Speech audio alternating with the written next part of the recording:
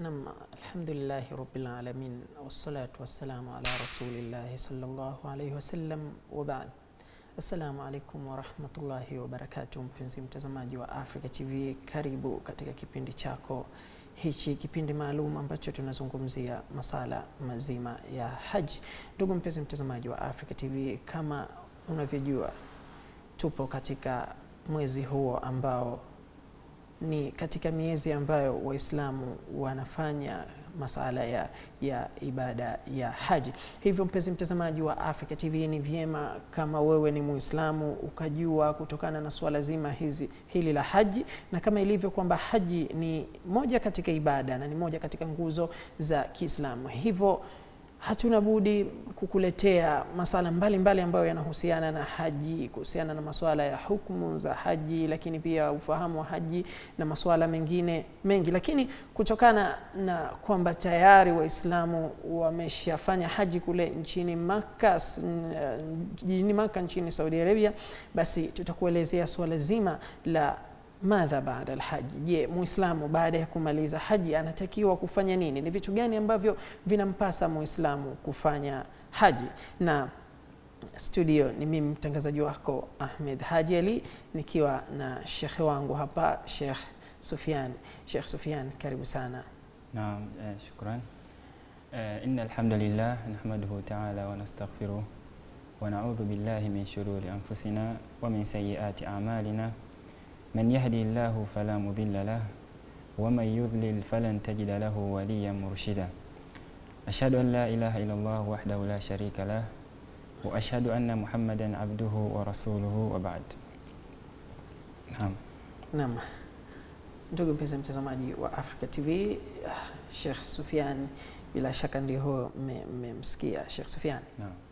Ah, tunataka kuzungumzia masuala zima ya, ya haji na kama ilivyo haji ni, ni, ni ibada kubwa sana kwa Waislamu na haji pia ni nguzo katika nguzo za Kiislamu kwa yule mwenye uwezo. Lakini kabla hatujaenda sasa kumfahamisha mpenzi mtazamaji wa Africa TV akafahamu ni kitu gani ambacho yeye anatakiwa kufanya uh, baada ya kumaliza haji, lakini hebu kwanza tulikuwa tuangalie tunapozungumzia haji, kwa sababu Waislamu wanajua kwamba haji ni kwenda Maka na, na kuhiji ama kuzunguka alkaba ama, lakini hawajui tunapozungumza haji labda kilugha ama kisheria haji tunamaanisha nini?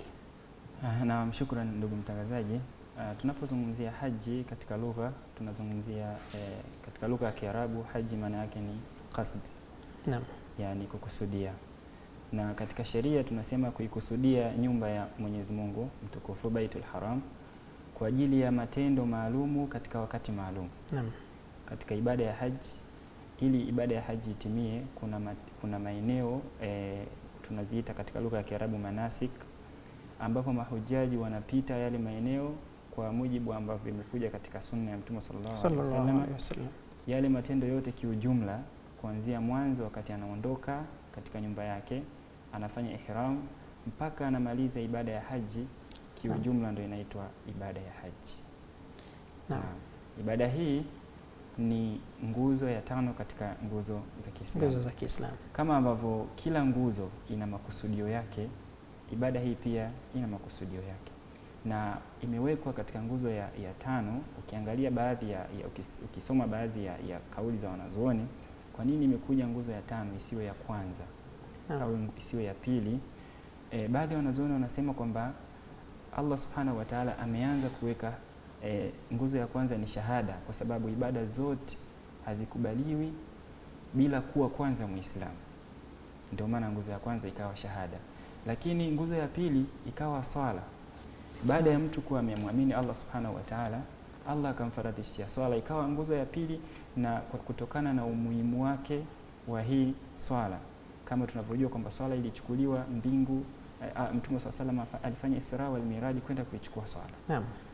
ikawekwa nguzo ya pili, na lengo ni yule aliyetamka shahada kumtofautisha baina ambaye amekili shahada kwa ulimi na matendo na yule ambaye hajaikili shahada. Ndio maana Mtume swalla salam akasema alfarqu bainana wa baina. Yani, tofauti yetu sisi na wale wasiokuwa sisi ni katika swala. Naam. Kisha baada ya hapo ikafata ibada ya zaka. Zaka ni, ni karina ni, ni, ni, kiamba, ni karibu au ni rafiki wa swala mm. yani zaka. Hata kwenye Qur'an Allah anasema waqimu salata wa atu zaka, mm. na lengo la zaka ilikuwa ni tazkia tu nafsi. Qur'an inasema e, kuchukua katika mali zao sadaka ili wajitakase katika Mm. e, nafsi zao kupitia hiyo sadaka. mm. Kisha baada ya hapo ikaja ibada ya saumu. Imetangulia saumu kwa sababu saumu ni ibada sanawia, kila mwaka ni lazima itekelezwe. Si tuko pamoja? Naam. Kisha baada ya hapo Allah subhanahu wa ta'ala akatufaradhisia haji, ikawa ni ibada ambayo ni mara moja tu katika maisha. Naam. Kwa maana mtu akitekeleza mara moja katika maisha yake anakuwa ameshatekeleza wajibu, Naam. ama akifanya zaidi hapo inakuwa ni sunna. Pia imewekwa mwisho kwa sababu ibada hii ambayo wanaiweza ni wachache, ambao hawaiwezi ni wengi, Ni wengi. kwa sababu ibada hii inaambatana na uwezo, na uwezo unaokusudiwa hapa ni uwezo wa mali, uwezo wa afya. Maana kuna mtu anaweza akawa na mali lakini hana, Hana uwezo wa kwenda, lakini pia uwezo wa, wa, wa kumfikisha afike kule. Unaweza ukawa una afya, una mali lakini hauwezi ukatoka katika nchi yako mpaka kufika kule Naam. kwa sababu za kiusalama na sababu zingine. Naam. Sababu zote ambazo zinafanya mtu kumzuia kwenda haji ni nyingi, ndio maana e, ibada ya haji imekuwa kwa yule mwenye kuweza Naam. ndio anaweza kuitekeleza. Naam, uh, Sheikh Sufyan, Naam. Umezungumzia kutokana na kwa nini ikawekwa ibada ya haji kwamba imewekwa mwisho, lakini pia ulizungumzia swala zima la, la shahada kwamba Muislamu anatakiwa kutamka shahada mbili kwanza. Kwa hiyo, je, kwa mtu ambaye si Muislamu itampasa yeye kufanya haji? Eh, kwanza ili eh, amali yoyote ikubaliwe, si haji peke yake, bali amali zote, kuna masharti mawili ambayo ahlul ilmi wameyazungumzia. Sharti la kwanza inabidi kwanza u, e, e, ufanye ikhlasu lillah. Naam. Sasa huwezi ukafanya ikhlasu lillah, huyo Allah mwenyewe haujamwamini. Naam. Kwa hiyo jambo la kwanza, ili amali zote zikubaliwe, kwanza utamke shahada, uikili kwa ulimi na uikubali kwa moyo, Kwa kisha uitekeleze kwa matendo.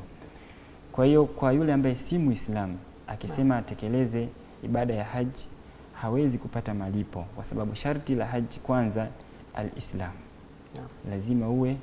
Muislamu. Naam. Pia sharti la pili ili ibada ikubaliwe ni mutabatu rasul. Sasa unamfuata mtume gani ambaye haujamwamini?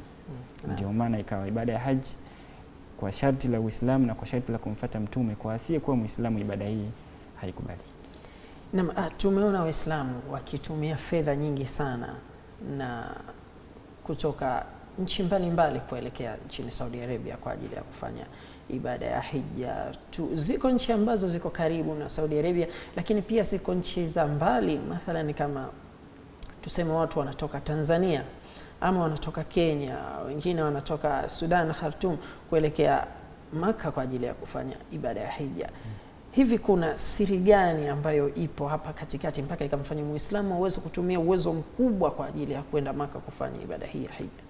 Naam, uh, kwanza ukiangalia uh, kuanzia zamani wakati wa Ibrahimu alayhi salam, Allah anasema katika surat al-Hajj kwamba eh, waadhin fi nnasi lilhaj yatuka ya rijala rijala. min kulli fajjin amiq, kwamba hii haji baada ya kuwa imefaradhishwa Allah ali- ali- alishasema kuanzia wakati huo kwamba watu wataiendea katika kila kona ya dunia. Naam. Kwa hiyo hii ni tarikhian, ni ahadi ya Allah subhanahu wa ta'ala kwamba watu wataenda bai, e, Baitul Haram kwa ajili ya haji. Lakini pia sababu ya pili, watu wanatumia pesa nyingi, wanatoka mbali. Hii ni kwa sababu ya, ku, ya kuikubali dini ya Kiislamu na kumkubali Allah subhanahu wa ta'ala na amri zake na kuitikia huu wito ambao Allah subhanahu wa ta'ala ameusema ame, ame usema ndani ya Qur'ani, sababu Allah anasema walillahi ala nnasi hijjul bait man istataa ilayhi sabila. Allah ametufaradhishia haji kwa ambaye anaweza basi achukue njia aende akafanyaje akahiji. Kwa hiyo wale wote wanaoenda wanafanya talbia, yani wanaitikia mwitikio ambao Allah subhanahu wa ta'ala ameuweka ame, ameuweka ndani ya Qur'an. kwa hiyo pia ni ahadi ya Allah ambayo tayari Allah mwenyewe alikisha ku- ku- kuizungumza. Naam. Naam, ah, ndugu yangu Sufyan, tumezungumzia swala la haji, tukizungumzia ufahamu wa, wa hija, lakini hebu tuangalie sasa hukumu ya hija kwenye Uislamu. Naam. Kuna hukumu gani? Naam. Uh, hija ni nguzo miongoni mwa nguzo za Kiislamu na hukumu yake ni wajib na ni faradhi kwa ambaye anaweza mustati ambaye ana uwezo kama tulivyokwisha kutangulia kwamba awe ana uwezo wa kimali, uwezo wa kiafya, uwezo. hana ile udhuru wowote ambao wa kisheria ambao unaweza ukamzuia, na inapendeza lakini hmm. pia inatahadharishwa kwa mtu mwenye uwezo, hana sababu yoyote kisha acheleweshe haji Naam, sio sio asihiji acheleweshe, chelewesha haji. yaani huyo anatahadharishwa kwa sababu hajui ajali yake itakuwa lini, na tayari ameshafikia vigezo vya kwenda kuhiji, kashavifikia kwamba tayari ana uwezo, na sharti la haji uwe una uwezo na, na wa kwenda kuhiji. Ndio maana katika hadithi sahihi Mtume swalla salam anasema ta, e, taajalu ila alhaji.